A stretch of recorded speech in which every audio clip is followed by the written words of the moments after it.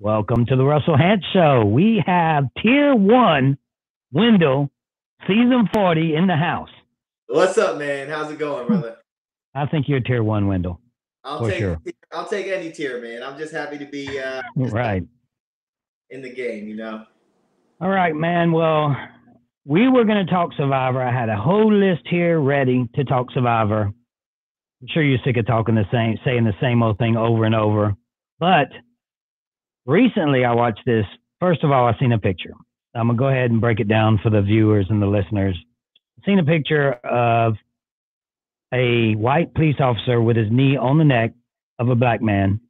And then it was next to Colin Kaepernick kneeing. And it said, This is because of this, or something like that. And then I posted that because I was like, Man, I didn't know the whole story. I just posted it. I had my little comment in my on my Facebook, my own little personal view on the matter. Then I posted it. Then got too busy with my list that I was going to talk to you about. Then I was like, wait a second, let, let me watch this video that everybody's talking about. So I watched the video, and it is, dude, I could hardly watch it. It is disgusting. Yeah. And it affected me to where I'm like, man, I can't even focus right now. I got I want to talk about this. I want to talk about what's happening in this country and what we're seeing, not only physical, verbally, you know, everything. So I'm a, I'm a, I wanted to talk to you like man to man here personally as a white man in America. So I've always was against Colin Kaepernick kneeling, all kneeling, always. This is what I said. And it's funny because I'm reading comments and this is I'm gonna read someone else's comment, but this is my comment. I have no problem with the protest, but what I do have a problem with is this disrespect to our country and our national anthem. That's what that's. You can say, "Oh, that's a Russell Hantz comment." Somebody put that in my in my message, and it isn't about the country and the national anthem. It isn't about that. Me as a white guy, when I go out, okay, when when we go out, guys, we probably have more white people watching this than we do anything. Probably eighty percent. So I want you guys to really think about it. Really think what I'm saying here, not just go in one ear and out the other. So when you're sitting on your front porch with your people, uh, have you ever had an officer slow roll by your house? You know, when you're in an elevator, have you ever seen in the corner of your eye someone clench their purse or something like that? You know, we I've never seen it. It never happened. That never happened to me. So my perspective of Colin Kaepernick kneeling is from my as a white man's perspective. So I can easily say, hey, the country, you need to respect this country because it, none of that stuff ever happens to me. So I can't judge on, on, it's hard for me to comprehend it. Now I've been delusional all this time because I literally woke up today after I seen that video and said, man, I'm seeing it now. I'm seeing it from both per- perspectives. If you guys look at it from a black, the black community's perspective, and then you see these people on, on videotape hollering like you're being attacked when she's not, clearly not being attacked, and even raising her voice to make it more urgent. You're only seeing 90% of what's really happening. Like you, I, I mean, I'm sorry, you're probably only seeing about 4% on video. This happens 95% of the time that's not videoed. Can you imagine, Wendell, can you imagine how many people have been convicted or even put to death that were innocent, that were in the black community? So, you know, it, to me, I wanted to talk about this because it really affected me when I watched the video. And now I'm like, man, I understand why he kneeled you guys have to understand why he would do something, why he would kneel. He's not disrespecting the country. He's trying to prove a point. And his point being that America needs a change. And I'm not talking about Democrats or Republican here. because it it's it was like this years back with Republicans in office and with Democrats in office. I'm talking about that we need to change as as people, and perception isn't always right. You perceive things to be a certain way because of their race or color. It's not always like that. So I wanted to just break that down, talk about that a little while. I want your percep- perception on it. Okay. First and foremost, Russell, thank you for inviting me on the show. Um, I've been a big fan of yours forever. Um, thank you.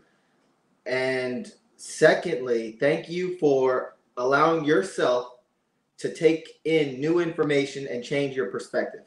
Um, sometimes it's hard for people to do that. It's it's how we're raised, or it's how you know it's your environment, it's the people around you, it's the external pressures. But I think intellectual people should be able to learn new things and change their perspectives. Um, regarding what happened uh, this this last week, first you have um, you have George Floyd in Minnesota. He's the guy who the officer was kneeling on his neck for nine minutes and killed him.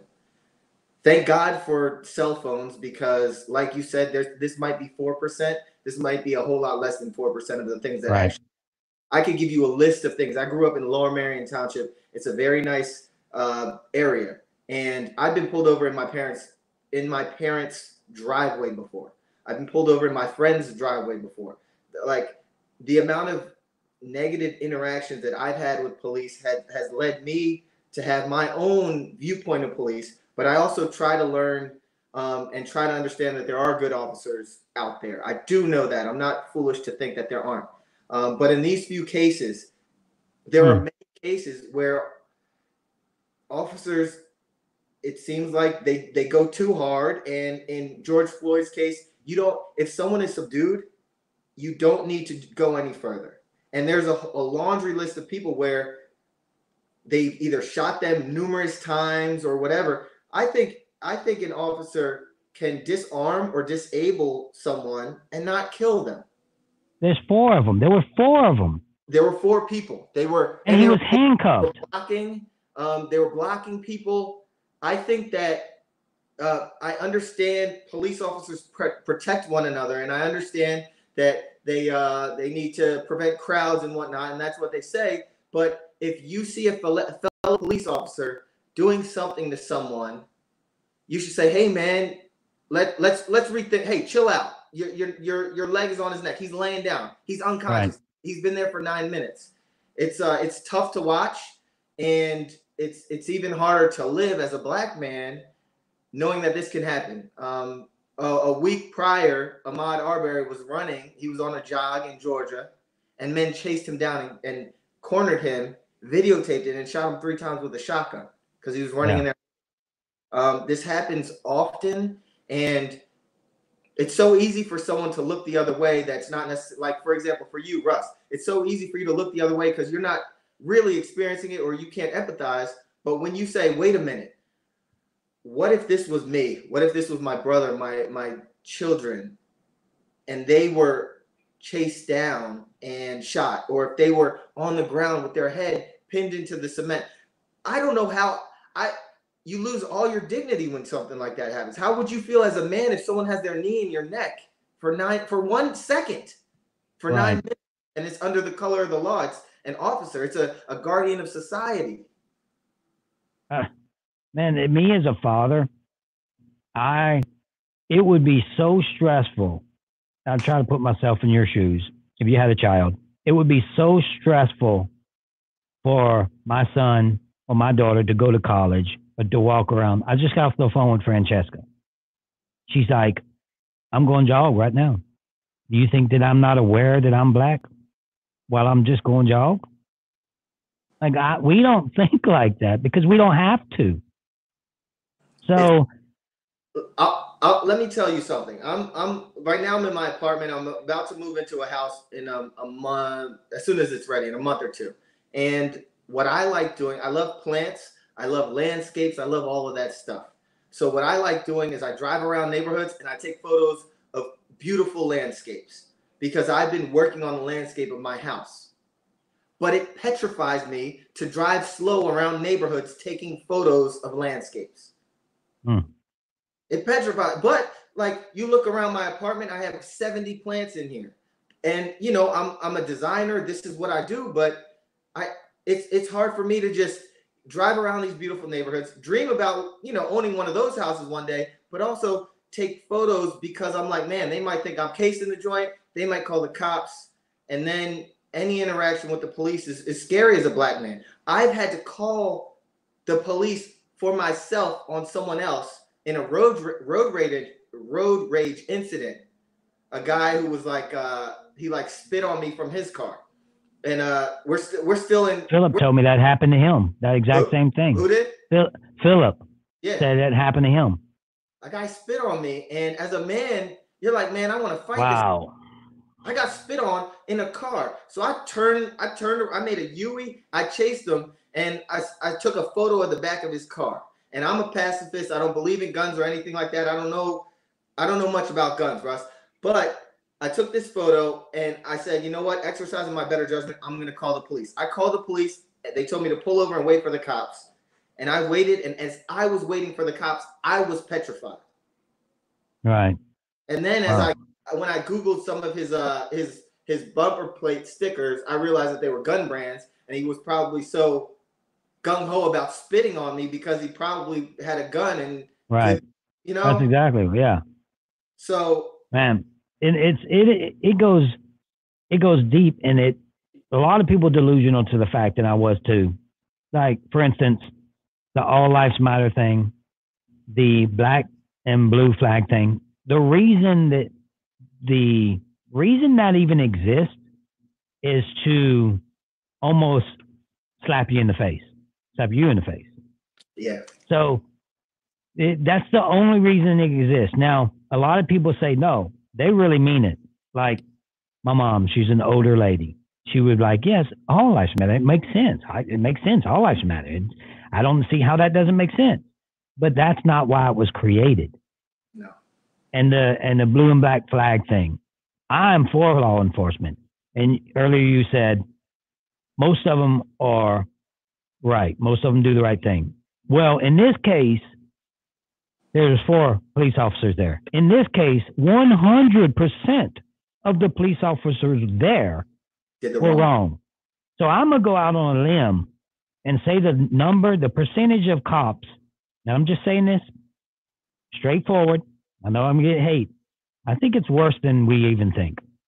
Russ, I think that it's um it's this there's a there's a there's an issue with the system in that it creates this protectionism where if almost they, don't want to either correct someone if they're doing something wrong or tell on someone like out of those four people you might pull one you might see one they they might it's hard to say that they might be a good person but but because they protect each other it's almost like a gang mentality. They're not going to go against that person while they're doing that thing. No, we're going to protect him and stand by him. But use independent thought and understand what he's doing is not right. And you can correct, I would think I can correct someone respectfully or, or, or, Yeah. or not respectfully. He's doing something totally wrong. Get, yo, chill out. Yo, get off his neck. Let's check him out. Yeah. Make sure this guy's all right. like tapping him. Hey, man, hey, oh, let up just a little bit. You got two other people on him right now. Yeah. He's he's he's screaming for his life. He's telling you you're killing him. Yeah. Yeah. This- There there and and it's happened before. Like I was trying to I was trying Yes, to no, this isn't the first time that we see this type of thing. it's not the first time we've we've heard I can't breathe and Yep. seen someone killed like that. Man, I don't care what they say. No cops, none should ever be allowed to put their hands around your neck. If they have to tase you, then they should have they should have things in place, man, and that should be one of the no's. Yeah. Like you can't put your hands around someone's neck or your knee on their neck. This dude, dude, he the way he was, and the guy that was talking, he sounded like he was uh he had no, knew MMA because he was on his artery where he couldn't breathe. He was like, "Glad you're on his spot where he this man can't breathe." And not only it looked like to me that when he was out, his body obviously was more relaxed. He wasn't tensed up anymore because he passed out. it looked like to me the officer even was more aggressive. Like, and he was like, "Look, you like that. You like what you're doing." Yeah, it's. I think all four of these officers should be arrested. All of them I, if I'm not mistaken, they've been fired. They need to be arrested. fired. I mean, they need to be arrested. The one Yeah. on his neck needs to be charged with murder. The rest of them needs to be charged with accessory to murder. For sure. I agree. And and the thing is, this we it, I'm tired of it just fading away. It fades away, and then we don't hear about it no more. Then another one happens. Then another one happens. That's so the it's getting to it's almost like get- desensitized to it, Russell. we get sentenced. This was dude. This was yeah. If you haven't seen the video, I would tell you to go watch it for just so you can understand the concept of what's happening here, how why it affected me so much. Because I promise you, if you're a human, it's going to affect you watching that video. Think if that is your child, if that that is father. somebody's son right there, somebody's father Yeah. maybe I don't know about that, but still, he he somebody loves that guy that has their knee on his neck. And that's their his family members. That's the last image of him alive that they'll ever see. begging for his life. And this isn't as, uh, an incident where it's just a, oh, this is a first time thing. This type of stuff just doesn't happen. It does happen. And we, and they, all this stuff that we're seeing people verbally attack other people, if that, if that gentleman wouldn't have had a camera and recording that and the cops would have showed up, he would have been arrested. He wouldn't have even been able to plead his case. He would have had to take it to court. And Oh, then he uh, had to spend tons of money in in uh, when the guy the bird watcher. Oh my gosh. Yeah. Oh, if he would have been arrested, Russell, that's the thing. You have a lady screaming bloody murder. Um, that that an African American. Why does she even? Ha- why is she? Why is she saying I'm going to call the cops and say an African American man is attacking me? Why are you saying that? You know what you're doing. That's you know exactly what you're doing. And then she's choking her dog. Her dog's screaming for its life. And as she's on the phone, Right. her voice gets louder. Oh my God, he's he's no, Yeah. he's not Yeah. She escalates it even more by by acting by playing it out as she's on the phone. Like because by the way, Wendell, in the court of law, they judge the tones and the voice of people that call 911. Like that's in court. They bring that to court. And if someone brings that to court and she's like, "Oh no, he attacked me," and here's the video, here's the uh, 911 call, he could no telling spend you know get probation or get spend a little time in jail or have it on his record. This is just a little example though, because this happens all the time. all the time. We're and and you can say you can say it because you lived it. I haven't lived it. I don't have. I haven't seen it, and I think that's where the delusion comes with some of the white community because we haven't lived it. So it's harder for us to accept it because you know it's not it's not around us. We don't understand it. You don't you don't it's it's not it's not your way of it's not you're you're not living living it and sometimes it's hard to speak out about it and this is what I've noticed um I I speak about being an ally and allyship and it's for me it's if someone else if uh someone else is fighting their fight if, if someone's fighting for gay rights or if, if women are fighting for women's rights or whatever I am an ally because I understand. I think because I'm a black man and I've been through so much, I can understand other communities going through it, and I want to fight their fight with them, or at the very least, try to gain an understanding and help them in their cause. And growing up through high school, through college, I've had lots of lots of white friends, right? My best of friends, and for me to see incidents like this happen and for them to not to speak out, it affected me, man. Like, cause for me, if I see a, a black man hunted down and killed, I'm like down and I'm depressed and I don't know how to react and I'm I'm sad and and I just for my best of friends who understand and can see me like this, for them not to be allies, it hurt me. It hurt me for years, Russell, to the point where I didn't Why do you think that happens though? Like even in your own community, why does that? Why? why do I think that why can't uh, a lot of your friends come together and say, no, we need to stop this? And here's what here's what it was historically. They would send me text messages. Hey, I, I see you're going through it. I hope you're okay. Hey, I, I hope it's okay. But when they speak out against it, that's when I truly feel like I have an ally. And um, recently, when Ahmaud Arbery was was chased down and killed, shot with a shotgun, um, and people started using the hashtag Run with Maud. Uh, people would go on jogs and take a photo and use that hashtag because they're you know running to to bring awareness to this issue and to what happened to him. My buddy Dom from Ghost Island, who who uh-huh. grew up in Long Island, he did it and he made a post on his Instagram about it. And he was saying that when he goes on a run, the only thing he's worried about is what he just ate because he might, you know, something might happen with his stomach. But yeah. I go on a run, um, I have to worry about wearing bright clothes, running in the middle of the street, and running in, not necessarily in the certain neighborhoods because of things that happen. And he right. made it and put it on his Instagram. And to me, I'd never seen any of my close friends do something like that. An outward act clearly stating that they're an ally for a cause that doesn't necessarily affect his um, community or his immediate com- community. And that's what I think is needed. Like Russell, I, I had no idea that you would come to me wanting to speak about this. And I didn't necessarily prep myself for this conversation, but when you hit me up an hour ago because you were because you were touched by what happened, because you couldn't sleep this morning, because you woke up thinking about it. I was like, you know what? It's important that if if Russell wants to be an ally, then let's make it happen. Um, if, if he wants to speak out against something that he sees and now can understand is wrong because he can empathize, let's talk about it. Let's let's open the dialogue. It's about different people from different walks and different plights looking at something and understanding it's wrong and working together to find a solution. Right. Yeah, because we're Americans after all, and we. I'm watching all this stuff, and it's on right now, and uh, they're protesting. I don't know how if it's aggressive or not at this point, but I'm sure it is. But I see whites and blacks protesting, so I appreciate. I like that. I want to see that.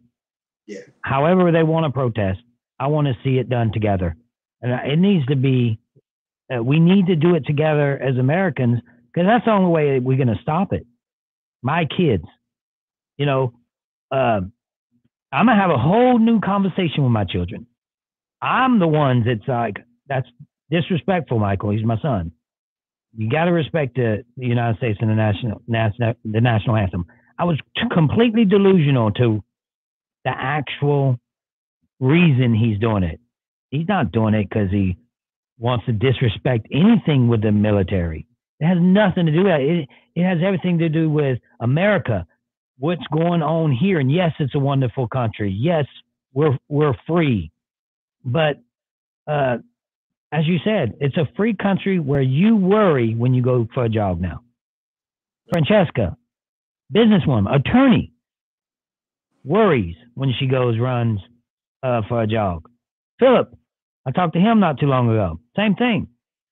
And and every single time I I ask the question, have you ever been affected? Every single time they say, I don't even know anyone that hasn't been directly affected, like strongly. Something has happened in their life. And that's where the white community gets it wrong because we're we're not affected that way. And we don't see that type of things. We're not have to, we, I don't worry about it. I can go for a jog right now and run my butt. it's nighttime, you know, nine o'clock at night. I'm in the country. You know, I got, I got rebel flags flying and all kind of stuff all over this neighborhood. This is redneck neighborhood in Texas. So I wouldn't worry at all. What if I was jogging around there? I would worry if you was. I wouldn't allow you to jog in the neighborhood. I would say, uh, man, it's best you just hang out. I'll jog with you, or it's best you just hang out here. And that's crazy because now I'm just thinking that how, how what I would tell you, hey man, just hang out with me. And that's not that I know anybody racist around my neighborhood because I don't. but I do see some flags flying, some neighbors that I don't know, and it's just uh, uh it's just I would want you to be safe, so I would say no. It's best you don't, and that's crazy that I even say that because we're in America. We're not in Russia. We're not. Why? Yeah. Why shouldn't I be able to go on a jog and feel safe anywhere in the country? It's, it it blows my mind even thinking like that right now. But yeah, you, it doesn't matter what neighborhood it is either. Would you be safe running in some wealthy, wealthy, super wealthy neighborhood? You, you know, they're gonna think, oh, what's this black guy doing? Yeah, uh, yeah, yeah. So no, it's and my nephews. I have five black nep- nephews and nieces. My soon to be son-in-law, my daughter, uh, she's having a baby. And I'm not sitting here saying, "Hey, uh, I got my I got some friends that's black and that stuff." My family is interracial. Everyone in my family, black, white, Spanish, it's all through the family. I was talking to my mom, and she's like, "What about Gavin? You know, what would that happen to Gavin?" And Gavin's um, my nephew. He's he's black, my nephew, and he looks black. And if he, you know, this happens to him, they stop Gavin. They they something bad can happen to him. So she's like, you know, this this kind of stuff's starting to worry me. Yeah. Because because uh, that's what they have. You know, it's to me it blows my mind. It's almost it, my mind is racing so much it's hard to even talk about because I'm trying to comprehend everything at one time, and it it just overwhelms me how much hate they have. Yeah, it's uh, and it's been overwhelming you all your life. Yeah, yeah. It's a. Uh, that's why uh, I wear this shirt. I went to Morehouse College. It's a it's a HBCU, a, a black college in in um, Atlanta, and all my life, I, I grew up in white schools, and I decided to go to a black college. And what that did for me, it's an all black, all male college, and for me to be in an environment like that where there are only people that look like me that are all trying to get great grades and get in the, into the best grad schools and do well and be successful. It kind of it kind of changed things for me. It made my perspective a little different because growing up in all white schools and neighborhoods i, I can't say that i was i was lifted up because of the imagery I, i've seen and because of those things. But when i got to morehouse it's like you know what? Now we're we're meant to be here and we're meant to do great things. So there's nothing yeah. inhibiting me from doing great things. And um, do you think that it translates um, that kind of attitude? Because I haven't seen this at all. But do you think it translates when when you're playing in a game of Survivor, like with the cast members? Your cast, your first time you played, new ones. Do you see somehow that something you felt a little weird sometimes? I, and I'm not saying, uh, you know, people don't like, oh, using the black card. He's using the black card and stuff like that. Yeah. I'm just talking real talk. Like, did you feel like that anytime? Um, because you're a good looking guy, man. You're the type that you're the type that's like uh, some people would think, oh, he's a good looking black man. He's, he ain't having any issues or any problems. Yes. So I'm I'm still a black man. Right. Fortunately, on Ghost Island, I will say that we had a very good we had a good group, um, a group that I think for the most part judged you on what you have inside, and I was I was lucky to have that. Um, Winners at War, another good group, but I noticed that when I started hanging around Jeremy Collins a little bit, that's that's when people that's all of a sudden I was the merge boot as soon as me and Jeremy got close. But you know, you know why? I can tell you why from my perspective as a player too. Let's hear because because you stick together, man. It's too close. It's too strong. That okay. alliance is too strong because because you know it's like you can't you can't break that bond. He wrote my that name bond. Down. But you see what I'm saying? My side, it wouldn't, and I wouldn't have done it. Let's say I would have 100%, I'm not just saying this to you, but you're the type of player I would have 100% aligned with. But if I'm not aligned with you and I see you hanging out with Jeremy all the time, I'm like, that's the type of bond that will take control of this game. It, now, that that's questionable, and why it's and it, you're saying that because it's two black men. No, two black people. That's why No, I'm saying I'm saying it because of the bond and the brotherhood that you have All right, let me tell you a as two black men. in the, in the brotherhood. It's all skin folk ain't kin folk. Right. Just Yeah, because, but we, yeah, but we don't. Yeah, but that we know how tight it can be, though. well, okay, it can be tight. Yeah, it can be tight. Um, but it also can't like Ghost Island. Des Desiree went right for me. She gunned for me. It's not cut and dry that just because there happened to be two black players on the island, they will work together. Um, right. No, you're right. You're you right. gotta- there, there's more to it. Jeremy and I are like-minded, and yes, we could have gotten some steam. We didn't even have a chance to work to do anything. We had a chance to say hello. If I think it's, uh, I think it's very funny that the pair of Jeremy and Wendell was gunned for before a pair of Sarah Lacina and Tony Vlachos. Who's a who's a stronger alliance? Yeah. Yeah. Yeah. I mean, you're right there, but I'm just saying my perspective. If I'm just trying to win the game, trust me, when I'm in that game, I don't see anything but souls to take out. Yeah, I don't see, you know, so I'm like, I, I don't see my my head is in the one direction. I'm a super aggressive player, hmm but and, and I would, I think because as a viewer too, as a fan of the show, when I watched you two play, there was a few things that, and we'll get into this. We'll talk a little bit about Survivor. A lot, I think a lot of people interested about that since we talked about what we needed to talk about. But I would, as a as a fan, I'm watching y'all, and I'm like, that's that's gonna work. You know, and am I saying it's gonna work because I'm like, okay, it's gonna work because it, it's not just because you're black. It, we have the we have the uh, we're guys, so sometimes guys work better together. I fortunately work better with the girls. So so and then I lose to them at the end of the at the end of the day. But still, uh, there's certain types of personalities with guys that I could work with. I could work with you. I could work with Jeremy. I could work with Tyson. I couldn't work with Boston Rob. Could have never, because he's his his. We're just not the same at all. Right. We're two di- totally different people. Even though I'm an aggressive player, he's an aggressive player. I couldn't work with him. But if I seen you and Rob talking in the middle of nowhere, tell me if you think this would be racist in your mind. If I seen you and Rob talking, I'd be like, knowing Rob, knowing a little bit about you, I don't know your personality, I mean your gameplay because I wasn't there, but knowing what they showed me, I'd be like, no way they're working together.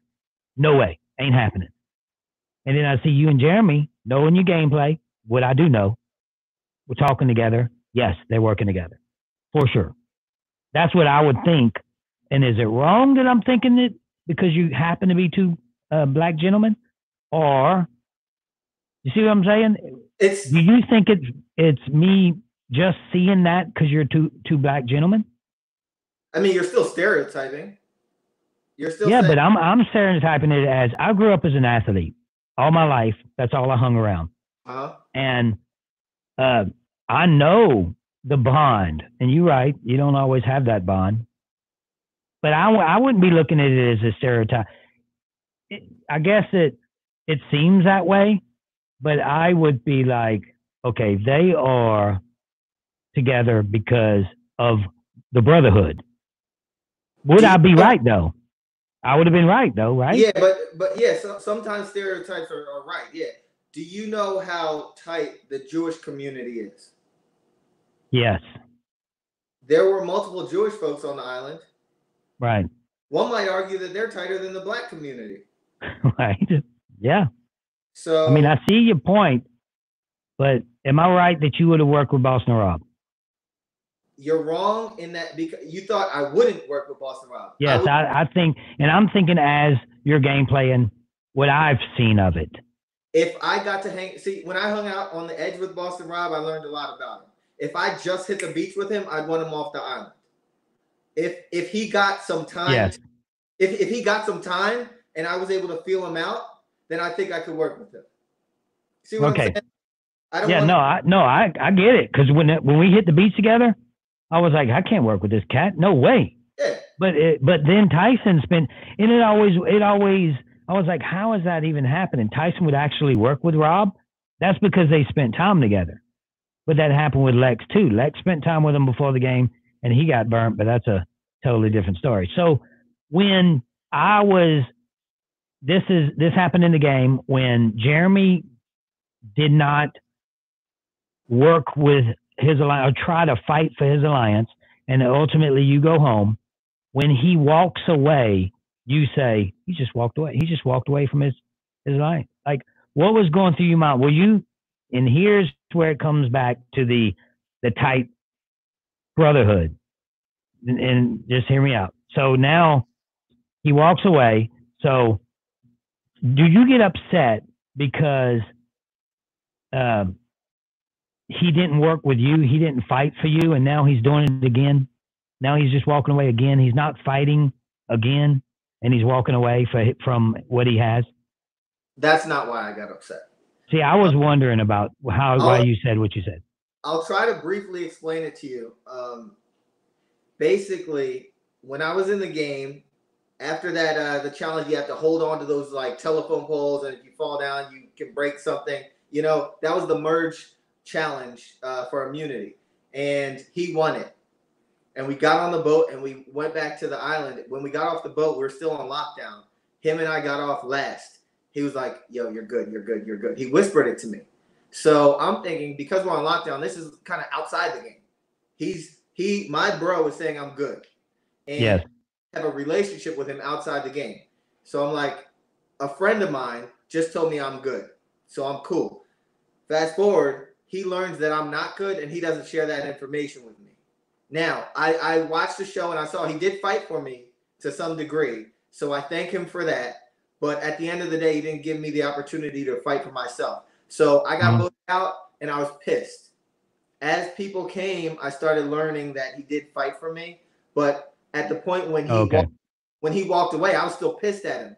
So I'm Oh, like, and and Russell, there was a point in the game when I was like, Tony is running circles around these people. He's owning everything. Did the you see that when you were there? When you were there, he was doing. When I not not when I was playing, when I was on the edge, listening to what's happening um, during tribal council, people we were just like, "Whoa, Tony is Tony is running this show. Why aren't these people gunning for him?" And in my head, I'm like, "Yo, Jeremy's that guy. He better he better shoot his shot." And then for him to walk out on his alliance, I thought he was some words that I'm not going to use on your podcast. But Right. I, I was like, yo, this guy is not who I he he's not he's not what what I thought he was. And granted, Because that was an opportunity for him to take control by making some big move. yeah, but I mean, he was protecting himself. I get it, but um, I, that's where my head was at that point. I was mad at him for voting me out and making me feel comfortable, and um, yeah, I was just like, man, he's a little chump. Yeah. So so with Tony, I wasn't sure if he laid low. Did he lay low like he said he was going to lay low, or did you see him playing like pretty fast early in the game? He laid so low. You know, I build things. I'm building the shelter. He's right there next to me. I'm looking at him. There was one time I was like, I know you. Everyone was gone. It was me and Tony, and I said something like, "Yo, I know you want to dip out right now." He's like, "Nah, man, I'm building the shelter with you." I was like, "All right, cool." Um, that sounds like him, man. Crazy man. I don't talk about. So I never do impressions. I don't know how. Anyway, so but there was one time I think it was when we voted out Tyson. We saw old Tony, and that was early. That was on the call when like a couple votes in when we had to vote out someone. Tony started running circles around the island and doing all and causing chaos. And I was like, man, we saw old Tony for a minute. And then fast forward, he turned it on the second half of the game. He, he was smart. He laid low. He Right. played awesome. That's good. So the Parvati thing, man. Would you have? Would you have made that deal? No. So if she would have gave you that right there, you'd have just voted her out. Yeah. Was there is there any? And I knew that. I knew that. That was like he's trying to. You know, that's a good move for you to just vote her out. At that point, it's too late. Yeah. But could she have did anything? You watching the show, you watching it back. the- She had. I keep saying, man, she had all these tools to work with. Do you think she'd have got Nick? Could have got Nick, or even No. you? She was hiding all her tools. That's the thing. She had many bargaining tools that I, I didn't know about the, the nullifier. I don't think people knew about it. Like use these to negotiate, even if it's to vote me out. Like talk to Nick Yeah. who's fangirling over you and is in love with you. Negotiate with something. She could have done it. Um, the thing, the thing with me and Parv, I want to get this out first because it, it, it, the way it appeared was, oh, Wendell's just a jerk. He's not working with her. When we got to the island, and I think I said it in confessionals. I was like, nah. She called. She said that Russell Hantz was her pet. I said something like that during a, a confessional. She They- said I was her pet. uh, in, no, in back in here. She probably did. In, in Heroes Right. She was my pet, really, though. Uh, I ain't gonna bro, bro, I'm I'm gonna try to be kind to Parv, but right. But anyway, so when we got on the island, um, I we went to the water, and I'm like, cool. I finally get to meet Parv. Let's work. I tell her everything that happened on the call. Who's working with who? Why people got voted out? Who I would still work with? I gave her all the breakdowns. I'm like, so what's up? Tell me about Sele. She's like, I would work with and named everyone on the on the former Sele tribe. She didn't give me anything. I just worked with these people. So I'm like, oh, I get it. She has she, she's gonna if if we go to tribal, I'm gonna be the mark. She's gonna go gun for me. She's not working with me from the moment we got on the beach. So and then on the island, I had an alliance with Michelle, with Nick, Mhm. and with Yul. These are my people. And they would always tell me that Parv, my name's in her mouth. She's telling me, she's calling me aggressive, and she's saying all these things about me. And I'm the guy that she voted out, and blah blah blah. So I know she's gunning for me. So I'm just like, you know what? I'll keep it real with you. Um, and then we we lose, and we have to go to tribal. Before tribal, she comes to me in the ninth hour, like, "Hey Wendell, is there anything we could do? Can we work?" Right, like like probably an hour before tribal, Wow. maybe. That's how, that's what she does too. She so waits I'm till the last second. I'm like, all right, uh, yeah, two, give me two fire tokens and and I'll vote with you. I said it to her because I knew she there was no chance she was, she was gonna write my name down, and I knew she was just bluffing. So then um, she's like, no, I'm not gonna do it. I'm like, Parv, I'm still I'm a big fan of yours, but it looks like you're writing my name down. I'm probably writing your name down.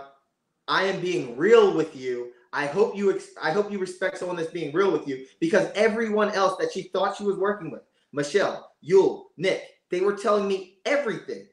So I, I was the only one keeping it real with her. And so from that, from my perspective, I, I I reckon I respect someone that keeps it real. And through through tribal, you know, I continue to tell her like, and yeah, Pro said, "Is that a current offer?" And I said, "Yeah, Parv, you know, give me a name." And even at that point, when she could have tried to shake things up or whisper to me, she didn't get up. So Yeah, no, I thought she was going to work with Nick. Like she had somebody. What she does, the way she plays, is she flirts. That's how she plays. It's in her game, and she gets Oh, respect for it. So it's oh, all okay. in your face and Yeah. stuff. Yeah, she, Right. yeah, Super, super charming. It works for her. for sure. So, so I'm wondering why isn't she pushing that hip, hip out for Nick and saying, "Hey, I'll give you three fire tokens with, well, or with um, she had who she had working with her at that time. Oh, so Michelle was with you though.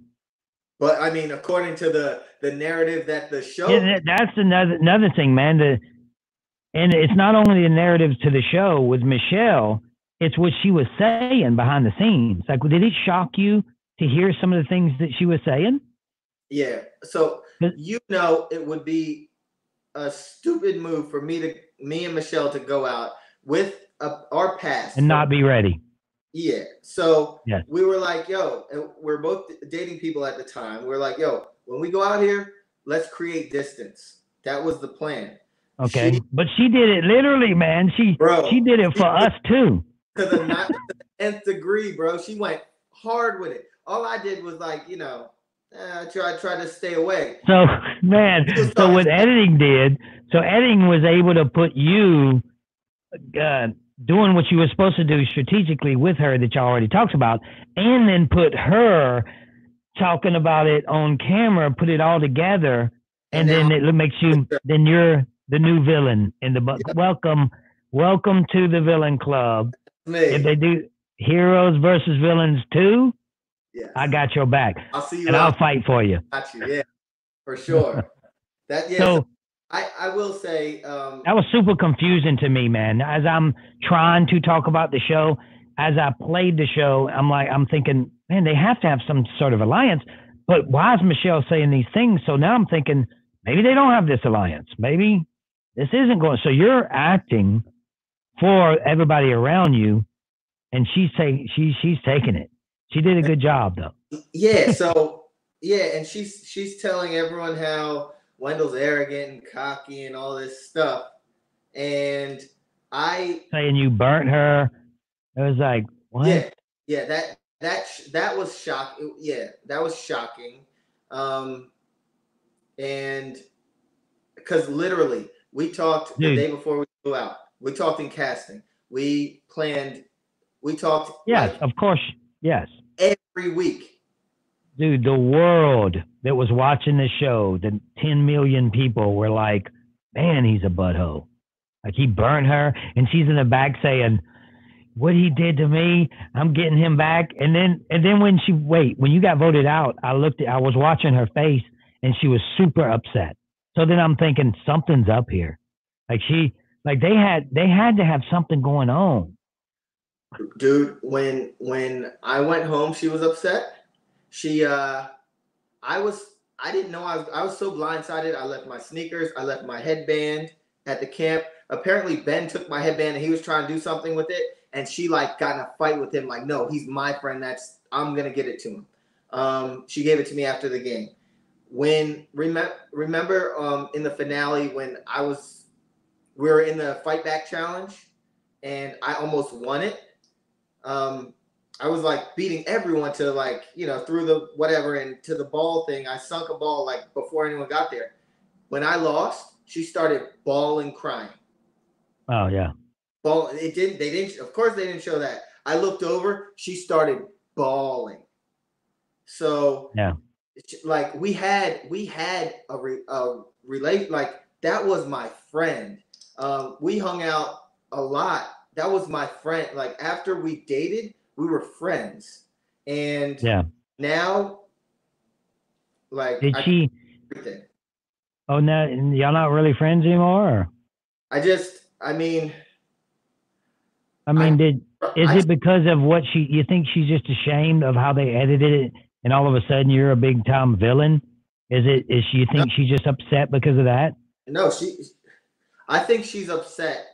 Um, I I do think I think she's, I think she's hurt the way they edited me because I took a lot of backlash. I Yes. like, I don't want to. I, I don't want to keep belaboring this, but man, like No, the amount- I, I hear you. No, Yeah. I- dude, Yeah. look who you talking to. oh yeah, true, true, true. I don't. Yeah, Dude, they, I, I have hate. I have hate that's still on fire. Like I ran over their puppy dog, still today. Like people hate me with a passion. right. But, but Russell, you are a good villain. You- Right. It's like almost. It's like you wear it with pride. I Yeah. I never considered myself a villain. Right. Considered myself like someone that does the right thing and, and plays the right game and all that stuff. No, I'm not. I'm no. I'm not saying you don't play the right game. Just someone that No, I see what you're saying. you see what No, I'm saying. I hear what you're saying. And You're I, I walked away not even expecting any kind of a villain edit. And then when you were watching it, man, because they went all out. They went all out on it. They went. Like they worked out. it. And they, they, you are 100% now on the villain squad. for sure. And Right. and so I had to lean in during the season. I had to lean into it and act like you did. I seen you leaning into it with some of your tweets and stuff you said. Because what else can I can I should I should I hide from Twitter and and and No. You, you, you, you, you take it. You take the punches. You keep moving forward. and and you're gonna get, have hate no matter what. People hate all of the cast members, every single one.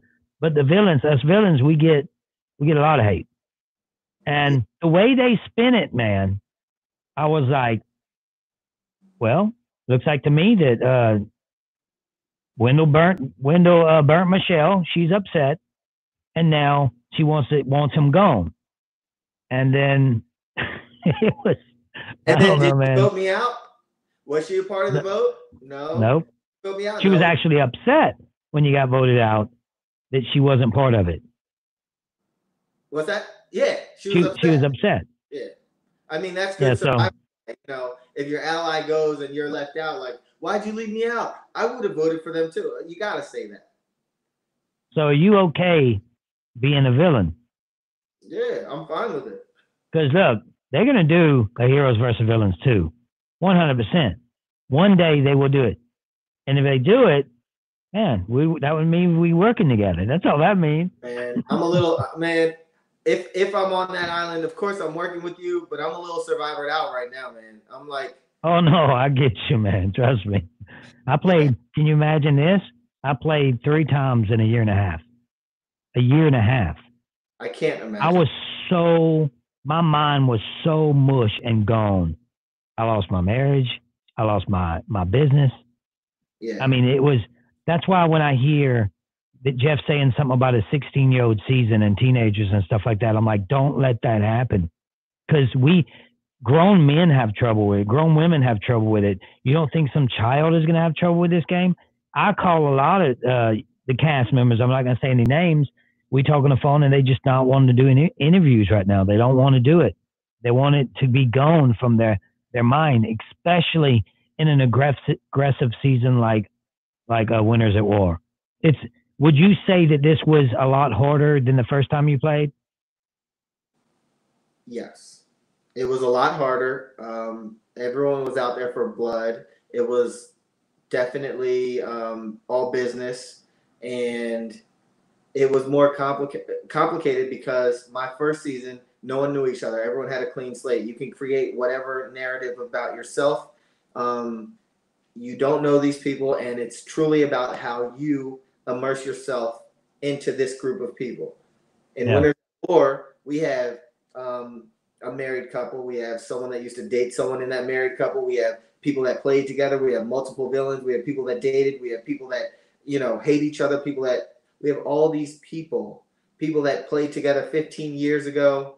You have all these relationships. Um, you don't know who is really working with who, who pre-gamed with who, and then you have the old the old guard who coincidentally was voted out kind of first, the first 10 people or whatever, the um the old school people. And there was no alliance saying gun for the old school people. I, I've seen that on Reddit and other places. Maybe not Reddit, but I've seen it like, oh, all the new schoolers had an agenda that they were gonna get out of the old schoolers. No, it literally just happened that way. Um, right. and also, you think of the old schoolers that are there. It's like, no, I don't want to go far in a game with Boston Rob and Parv and etc. Right. Right, I get it. If I sit next to them at the end, who am I kidding? I'd be a stupid. Right. So, um, yeah, it was about there. There, it was. It was crazy. It was a, a mind game. Just thinking who would work with who, who's working with who. Sarah and Tony, they did a great job of not letting it be really knowing how tight they were, even though you would assume that they're super tight. But Right. they did a good job of distancing themselves. I think I might have even said something to Sarah like, "Yeah, I'm staying around the shelter to babysit Tony" or something like that early Wow. in the game. But then again, they became allies with me early in the game also, and then they Yeah. slit my throat. But um, yeah, they did a great job of distancing themselves, and that's I guess ultimately what really helped them down the line to the point where they could just let it be known that they're working together and no one can can take any shots at. Yeah. So would you have been okay if Natalie or Michelle would have won the game? I would have been okay if Michelle won the game. Okay. Uh, for a couple So you wouldn't have been okay with Natalie would have won? no. Because they edited it pretty cool. They Oh. edited it where it looked like, oh well, she might get some votes here. Of course, they they they made they made Natalie and Michelle look pretty strong down the line because Right. they, they. But from my perspective on the edge, Tony was a head and shoulders above the pack for a while. At least maybe like the top eight or seven votes. It was just clear if this guy sits next to anyone at the end, it's a wrap.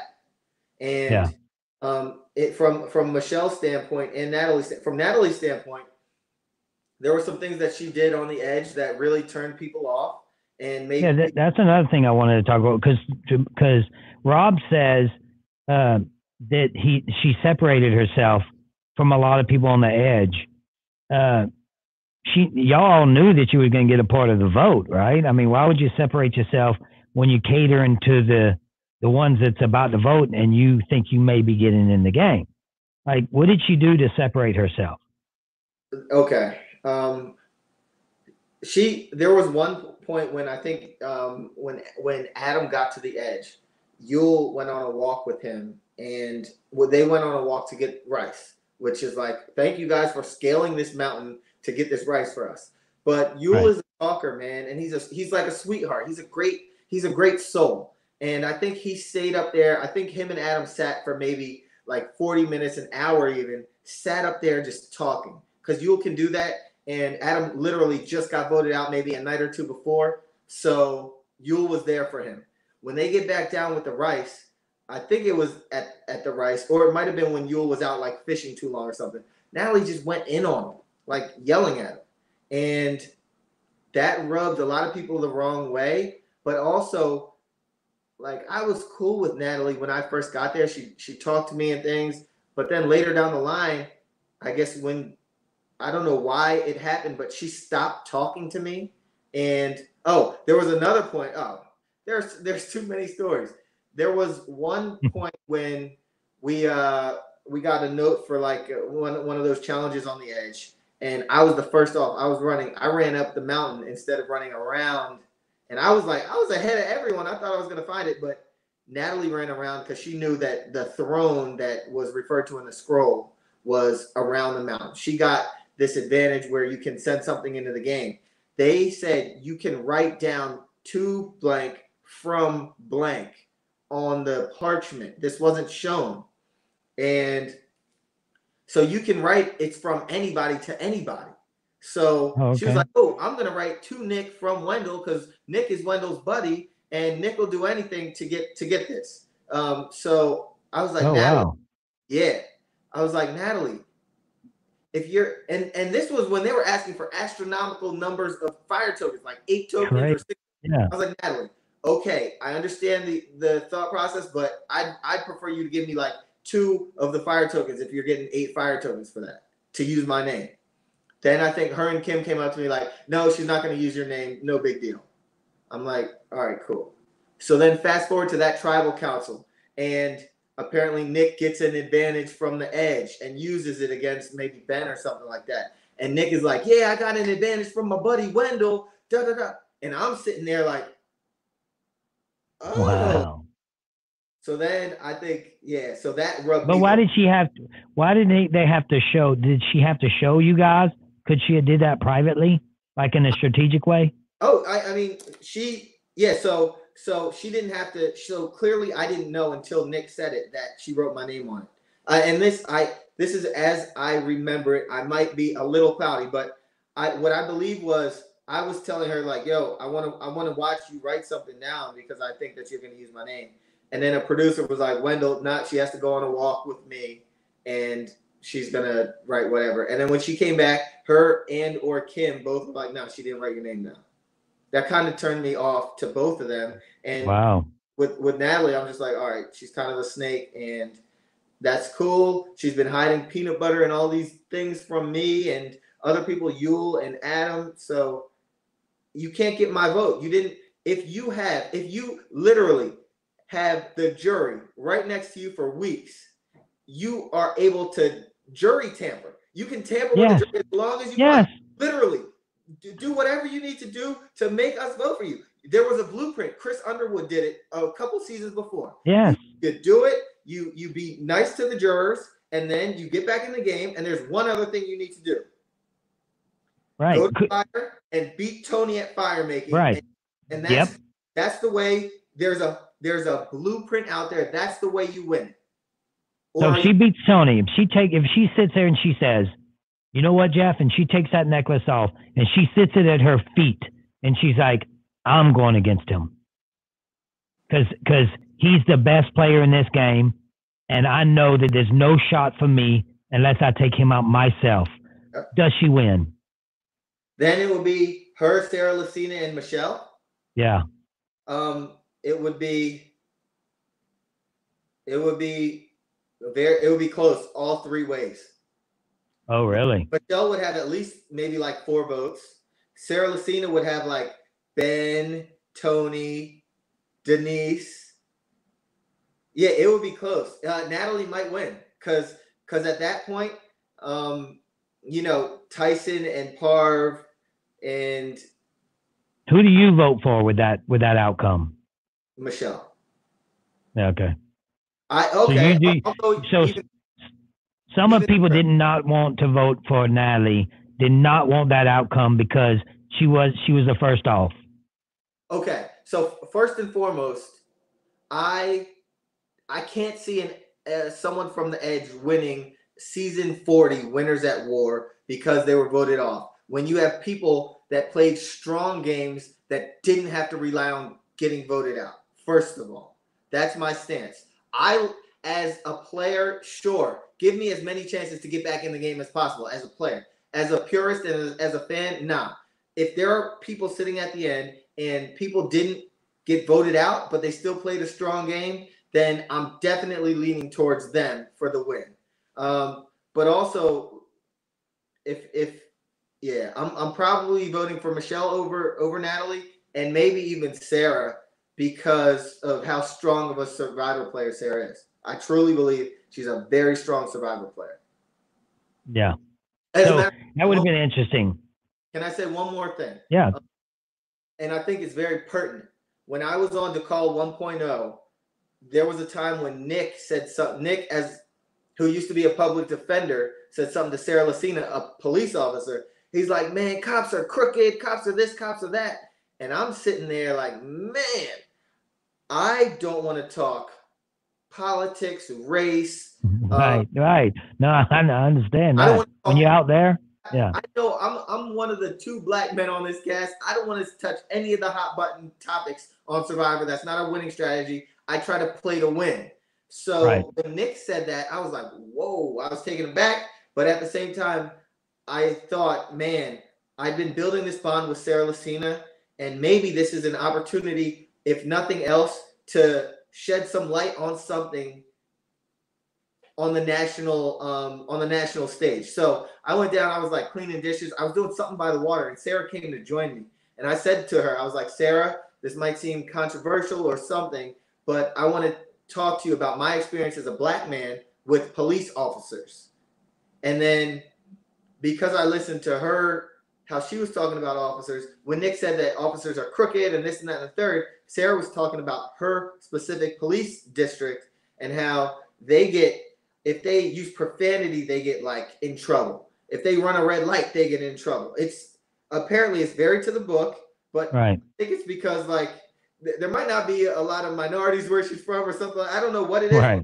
It's very utopian over there, I guess. Whereas in Philadelphia or in these big cities, it's we see a lot and we experience a lot. So Right. I aggressively say it. I said it like, hey, hey, this is my experience. If all police officers were like you and those from your district, it would be great. But this is from my perspective what I see. And I they didn't show any of that. And maybe it was because it was villain edit Wendell time or whatever, but I just find it so pertinent and it would have been such such a great thing to to show. But then again, I understand like whenever they touch hot button topics, sometimes it turns off a lot of people and people go watch Survivor to to to have an outlet and to just laugh and see cool characters and not necessarily see a microcosm of America. But I think that certain topics should be touched sometimes. Yes. For sure. There's some that you need to stay away from. Like you just said, it's like, especially as a player, Like when I'm out there, I, Oh no. I'm I'm not even independent. I'm like I'm nothing. Yeah. I'm I'm you know I'm just trying to play. Like I said, I see souls to take. you know, Yeah. that's all I that's all I want. I like it, man. I, it's smart. It's not smart. It's not good survivor play to t- to touch on certain topics like that. It's not. No. So uh, overall, man, do you think the reason I'm getting a lot of people say let's do the talk, but later it's because it was such an aggressive mental season? Oh yeah. I, I like. I am survivored out. I like. Well, if they called you tomorrow and said we want you to play another season in a month from now, could No. you do it? No. You wouldn't do it. Nope. Russ, I there were opportunities that I don't want to talk about that I did turn Yeah. down for Survivor 40, and look look how they did me. So I'm I'm ta- I'm taking a little breather and I'm pursuing other things. Um, but like yeah, it, it it's tough. But I'm not the person that will stand down and like, for example, Bryce called me for his podcast, and I know we were going to talk about race and survivor and other things and i Yeah. find it important to speak about these things because there are people that will follow in my footsteps and so when you text I, of course i want to talk to you about survivor because you're Russell Hantz but when Mhm. you texted me earlier and said nah we need to talk about certain issues in the country Right. down from that like there are too many people that i can help or that i can change or that you and i standing And- together can And the change. thing is, you know, I hope that you know it's hard for me to word it. I'm sure some people are going to get upset by the by some of the ways I worded some things. I'm just not good at talking about that kind of stuff. It's not what I do. This is a podcast about reality TV. So if I did something to offend somebody and said something that uh, it wasn't to offend anybody, I thought that it's a a subject that we needed to talk about at the beginning of this podcast. But we got into Survivor, and I'm glad we did. But you know, I don't know if I said anything to you that offended you. I'm just talking. Uh, okay. I called Dom before this podcast and I was like, yo, Russell wants to talk to me about race, blah, blah, blah. And he, he said, look, Wendell, if if he happens to say something that offends you or whatever, Right. I, I know how, like, Russell, right now, you are opening your mind to things. So Right. I'm not scared of you saying something that will offend me. I am impressed and proud that you're willing to try to have a conversation with someone completely different and try to just open your mind a little bit. Right. I appreciate that too. And that's exactly what we all need to do. If more people would be opening their mind to the subject and actually understanding it, yes, it's hard for me to talk about some stuff like that because I, I, you know, like I said, I'm. This isn't a political uh, podcast, Right. and we don't talk about it. I just felt it was. It touched me the whole thing, uh, like none ever did. And I wanted to bring it out, and I wanted to talk to you about it because I've seen you tweeting some things about it, uh, and then I, you know, I thought it needed to be said. Saying that, you know, uh, I don't know what I'm doing, man. Talking about that. I mean, I probably have no business. I have somebody working with me that works uh, on the back end of the podcast, and I'm t- I'm talking to her and I'm texting her. I'm like, should I even do this? I mean, I don't I don't know if I should even do this because I know nothing about this. Right. Here's here here's the thing, and also the people that listen to you probably it- you're you're gonna you might change some folks' opinions, you might not. Um, some people might not like the things that you're saying. You're you're sticking your neck out for this to to speak about this topic. It's Yes. I am impressed by And I know I could lose viewers, and I've seen some comments. People, oh, what are they talking about? I'm out of here, that kind of thing. I know I can lose subscription subscribers and viewers, but I think it's more important than that. And I am, uh, you know, I thought that it was necessary. It's a conver- I, I appreciate the conversation. I mean, you're still going to be Russell Hantz with the Russell Hantz podcast talking about all things, but for for you to divert one time and try to, you know, see something different, I think I I'm impressed. Yeah. So what did Dom tell you? He was like, "Oh no, man, watch out. We don't know what he's gonna say." He said he said uh, I want to be exact with what he said. Um, he said he said you know what you're doing, and he said talking about me, and obviously mm-hmm. he said right. I know what I'm doing, and despite basically what we just said, even if mm-hmm. you say something that might offend me or whatever, I I'm more so. I remember during apartheid. I I don't. I, during apartheid in South Africa, there was a thing called the Truth and Reconciliation Committee, and what they did was they said the war criminals come forward and tell your truth, and there will be some kind of reconciliation. We won't, you know, there will be a way to. We we want to clear the air. We want to get things out there so people can come to peace with things. So if I'm not calling you a war criminal or any of these things, but I'm saying the more dialogue that exists, the more that you speak, even if it makes you uncomfortable, even if you're saying something that you think uh, might not necessarily be politically correct, I'm a sounding board and I can either say how I feel about it. At least our feelings are getting out there. At least we're speaking about it. Right. As opposed to running to our own communities and speaking of yes. pointing. Right. This is how I think it's super important. Yeah. Yes. I'm glad we talked about it, man, and I sure appreciate you coming on the show. It's been an hour and 11 minutes. I know that it's uh I've been there. I know it's it's your mind is like mush when you talk yeah. about Survivor, but I can see also the passion in you with the game and how you get into it. That's I appreciate that type of thing because I have passion towards the game. Maybe one day down the road, four or five years from now, we may meet on an island one night one day. You never know. If that yeah. happens, it's gonna be fun.